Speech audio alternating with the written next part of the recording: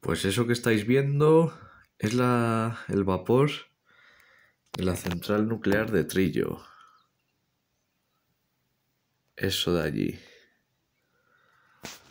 Pues pedazo helada, ¿no, amigos? Estamos a 3 grados bajo cero ahora mismo. Pues esta es la gran primera helada potente.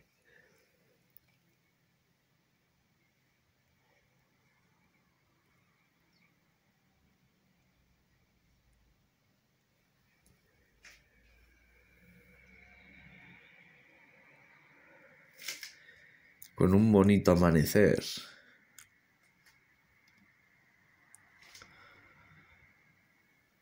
Es que hasta los montes están blancos.